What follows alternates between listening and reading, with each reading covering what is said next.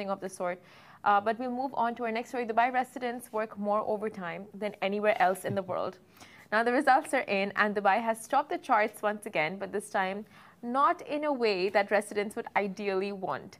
Now, according to studies on work-life balance published by a mobile tech company, Kisi, Dubai ranked as the number one most overworked city and the second most safest city in the world.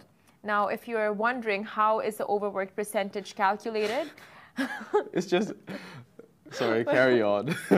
I, I, feel, I feel. now, the percentage of full-time employees working more than 48 hours per working week in each city, so that is a higher percentage reflects a, a city with a greater amount of its population working overtime. However, since the pandemic, Dubai companies have become more flexible with allowing people to work from home. And along with that, the study also indicates that the Emirates ranked first in terms of having the lowest unemployment levels and the numbers of office leaves offered to workers. Yeah. So I, I don't mean, know. It is. We get more yeah. holidays compared to other people. Plus, like we have the lowest levels of low, lowest levels of unemployment. So all of that is fab. Like clearly, it's a city of hustlers, and people. Some people even choose to work overtime. Oh. Voluntarily. Yeah. Like Shahir yeah. over here always I don't know, I'm just a hard worker. I was I was born that way. I was raised that way. Yeah. Um, but yeah, that being said, literally, that being said, people are extremely hardworking. Mm.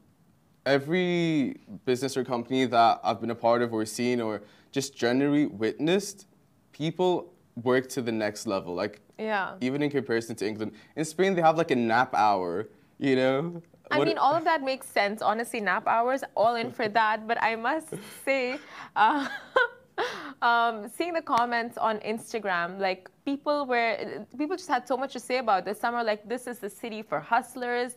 Uh, you know, you go and you work for what you want, you get what you want, and you just um, live the lifestyle. You work for the lifestyle that you want. And then some are just like, overtime, but no overcompensation for the overtime. You know, like a lot of thoughts around this topic. Yeah. Well, there are also laws in place that if you do work overtime, you're legally allowed to um, only work two hours overtime a yeah, day.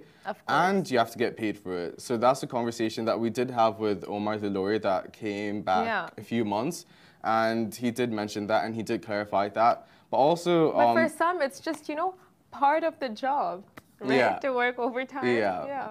Yeah. Well, that's like, you know, it it's varies from industry. It's in the comments. It's from industry know? to industry. so yeah. I, I don't know how to. Anyways.